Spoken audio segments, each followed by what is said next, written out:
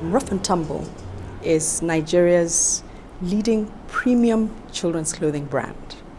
So we manufacture and we retail um, children's clothing from six months to 16 years. And that's really what we do. But I think the greater meaning for our brand is that we inspire through fashion. That our brand is a platform um, that is used to build confidence, not only in children, but in also showing what is possible for Nigerian entrepreneurs and Nigerian businesses.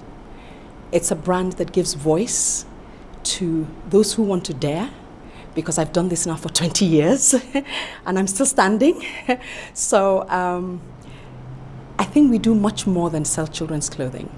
We inspire through fashion. I founded Rough and Tumble 20 years ago, quite by accident.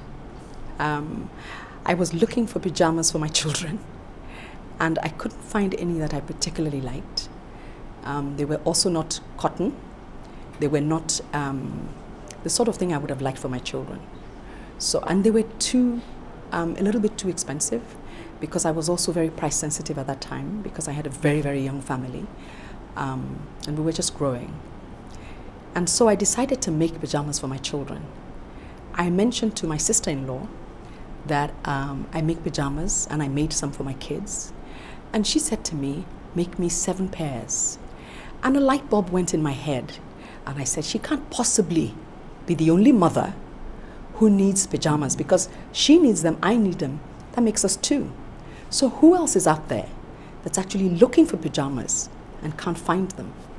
So, I made about 40 pairs. I threw them in the boot of my car.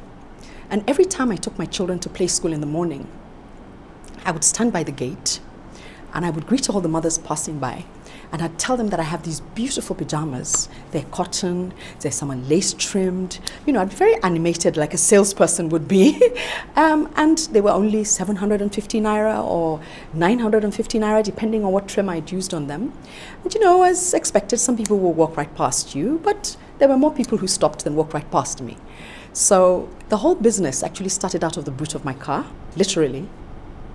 I have found Access Bank to be a bank that is committed to growing women's businesses, not by talking, but by actually walking the talk.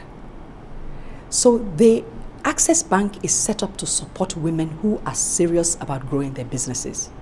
And this dream would not be possible without Access Bank.